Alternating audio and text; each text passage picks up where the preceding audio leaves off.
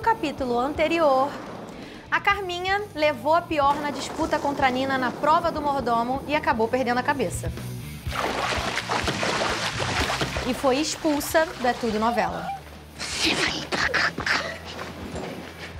O casal Félix e Cro enfrenta a primeira crise. Você tem outro, criatura? Quem tá fazendo coisa não devia é você. Onde já se viu uma audácia dessas? Na prova do protagonista, o Félix deu um verdadeiro show e agora escolhe entre Bebel, Vivi Guedes e Cro para sair de cena. Está no ar o reality mais novelão da TV brasileira.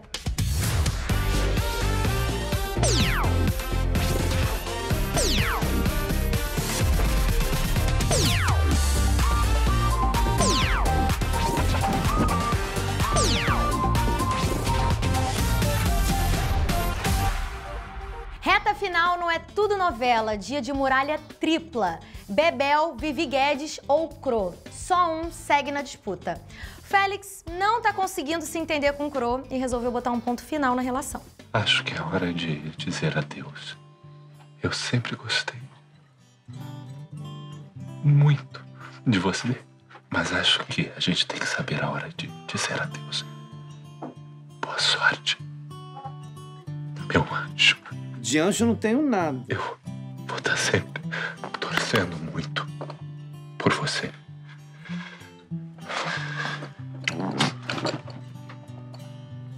Ai, que triste, gente. Eu chipo tanto esses dois.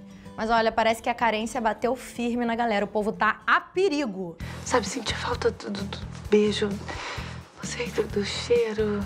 Minha deusa, você não deu carinho pra esse teu nego a noite toda. Eu tô precisando tanto de um dengo. Eu tô com muita enxaqueca, Foguinho. Dormi mal, consigo nem me mexer. Então deixa eu te fazer uma massagem. Bom pra enxaqueca é banho. Eu adoraria que um bicho-papão enorme invadisse meus aposentos e rack, arrancasse o lençol e partisse pra cima de mim. Sexo? E a Valdirene tá focada em resolver esse probleminha. Vem cá, meu amor, olha só. Eu sou pequenininha, mas eu não tenho medo de você, não, tá? Pode vir com pegada.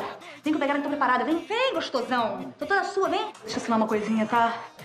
Posso te fazer feliz, cara. Então vem com tudo, com pegada, que eu quero ver você em cima de mim agora. Com esse muque gostoso. Que é isso? Que falta de pudor é essa? Tá maluco? Gente, coitado do Cro. E que doida essa Valdirene, né? A carência bateu forte realmente aí. Bom, por falar em carência, aí vem a rainha da carência. Esse quarto é meu. A porta do seu quarto estava aberta. E aí eu entrei. Ainda não adivinhou?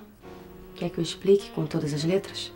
O que você acha que uma mulher solteira, jovem, ia fazer no quarto de um gato? Como é que você se empresta um papel desse? Eu fiquei com, com medo de ficar dando mole, mas você que demorou a me notar. Você deve estar roendo beirada de calçada mesmo pra se sujeitar a um papel desse. Não, peraí, peraí, peraí, gente. Não pode ser. O foguinho também é Laura. Quer deixar uma portinha aberta, assim, pro futuro, quem sabe? Ainda bem que o foguinho caiu fora, porque se meter com essa daí, não dá sorte não, viu, gente? Homem é fogo, não é? Vai entender o que se passa na cabeça deles. Eles morrem de medo de mulher. É isso. Bem, chegou a hora do Félix tirar dois personagens do jogo. Vamos ver quem são os escolhidos dele. Oi, gente, tudo bem? Olha, chegou a hora de eu tirar não um, mas dois de vocês do jogo. Bebel, Cro, Vivi, como é que tá tudo por aí? Eu tô tremendo. Ah, quer saber? Tô com medo nenhum, não. Vou acreditar em mim, vai dar tudo certo sim. Ih, já vi que o assunto vai ser longo, então eu vou me trocar, tá? Bem, então vamos ao resultado. Primeiro escolhido pelo Félix pra sair de cena é.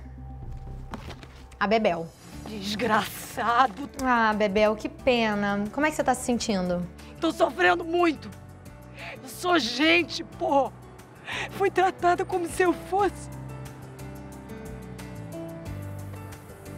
Eu sou gente. Eu não mereço. Ah, não fica assim. Olha, eu tenho certeza que não foi nada pessoal, faz parte do jogo. Olha, a gente amou ter você aqui no É Tudo Novela. Eu sou uma mulher habilidosa, entendeu? Tenho alma de artista, meu bem. Isso tudo pra nada. Mas eu não sou burra, não. Eu tenho olhos de ver. Vou esquecer essa pisada de bola e vou olhar pra frente. E não dei vexame, não, tá? Eu arrasei. Então a Bebel foi a primeira eliminada de hoje. Vamos ver a segunda pessoa que o Félix vai tirar de cena. Entre Cro e Vivi Guedes, ele escolheu Vivi Guedes. Cro, parabéns, você segue no jogo. Filha dos deuses, eu, eu, eu, fiquei bege, eu não. Eu não sei o que te dizer. E muito sucesso pra você aqui fora, Vivi. Fica à vontade pra se despedir dos seus fãs, viu? Oi, seguidores amados. É... A Vivi Guedes tá Vocês vão ter sempre, sempre, sempre o meu amor. E. E eu vou lembrar de cada um de vocês com todo o meu coração. Posts. Tô pensando em novos posts o tempo inteiro. Eu passei anos buscando meu espaço. A minha vocação é a internet. Os meus seguidores só aumentam, os meus números só crescem.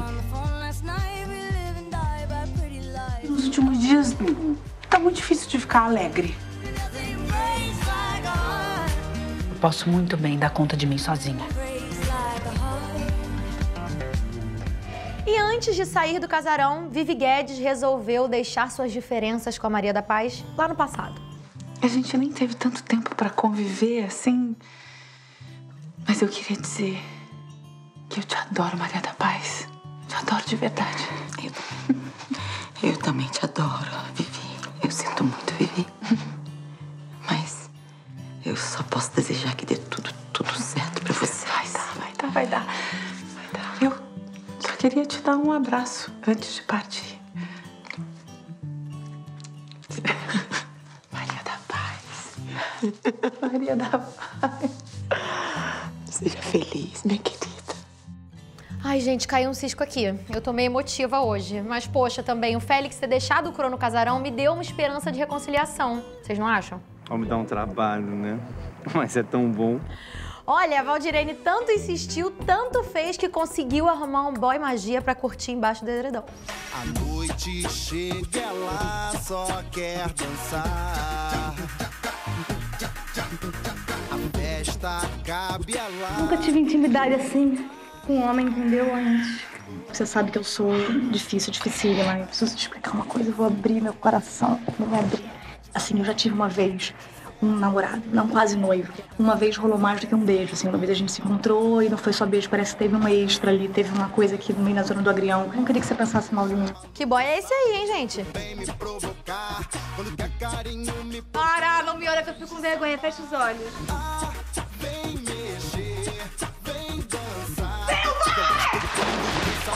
Não repara não que eu tô um pouquinho nervosa, porque você não tem experiência nem fora d'água, imagina dentro. né?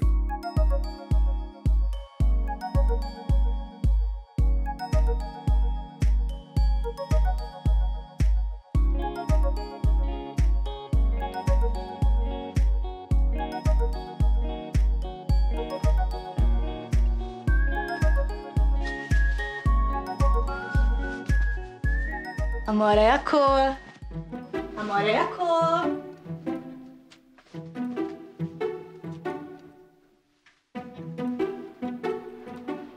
Eu adorei nossa noite. Peraí, mas eu conheço essa voz. É o Regis. Olha, o Regis não aprende mesmo. E aquele amor todo pela Maria da Paz, hein? Eu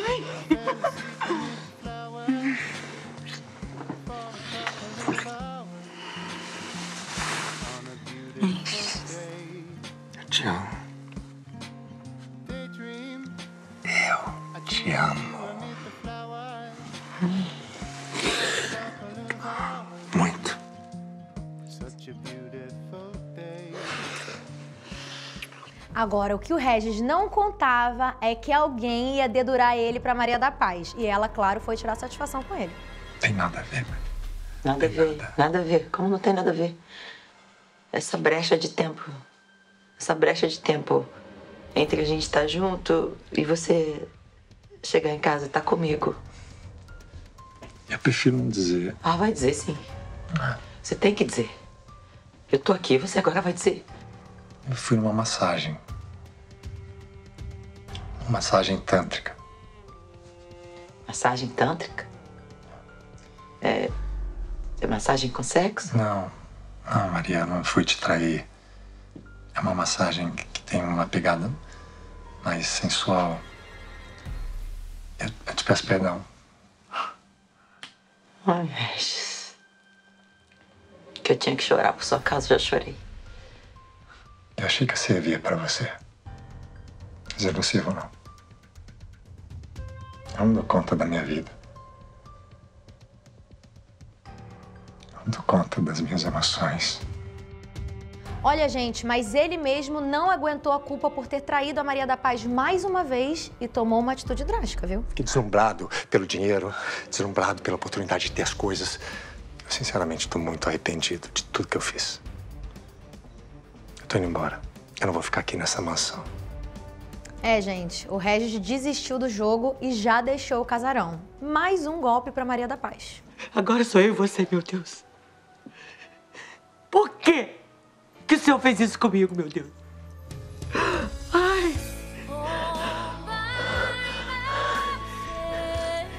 Deus do céu! Por quê que o senhor fez eu encontrar ele de novo? Agora, o senhor, meu Deus, vai fazer eu esquecer deles. Ai, tadinha, gente. Mas vida que segue, né? Estamos na reta final do programa e resolvemos fazer uma surpresinha. O temido telefone tocou mais uma vez. Nós fizemos algumas ligações para o casarão, umas com notícias boas, já outras nem tanto. Olha só como é que foi. Oi? Oi? Você está na muralha. A Nina não deu sorte, atendeu a ligação do mal e é a primeira a formar a muralha. Alô? Você ganhou um passe para nossa sala de controle. Tá bom, então.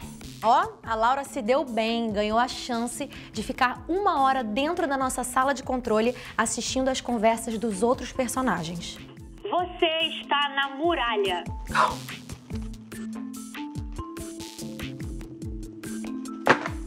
Maria da Paz também se deu mal e tá na muralha. Minha Nossa Senhora do Cabelo Platinado. Chegou a grande hora, solene e decisiva. O grande momento. Hello? Você é o protagonista. O Cro deu sorte, atendeu a ligação do bem e é o protagonista da vez. Seja o que Deus quiser.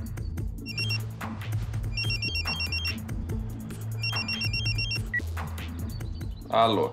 Você está na muralha. E o Félix completa a muralha enfrentando Maria da Paz e Nina. Dois deles saem de cena. Amanhã nós temos o penúltimo capítulo do nosso programa com a Laura entrando na sala de controle. Ai, as câmeras, que ideia extraordinária. Sabe o que eu adorei? Eu agora controlo tudo. Tudo que todo mundo faz nessa casa. Nós também vamos conhecer os três finalistas que vão disputar o seu voto na grande final. Vocês decidem. Não vai perder o programa de amanhã, hein? Beijo. Vou estar sempre torcendo muito por você.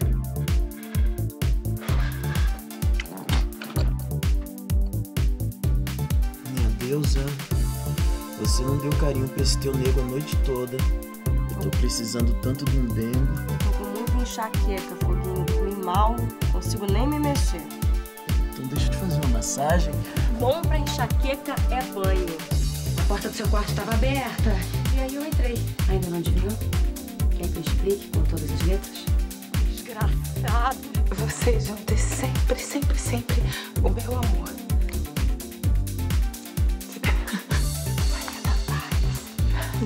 Maria da Paz. Seja feliz, minha querida.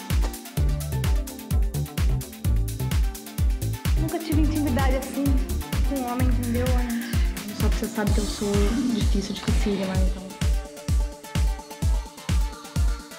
Amor é a cor. Tem nada a ver. Nada a ver. Nada a ver. Como não tem nada a ver? Essa brecha de tempo.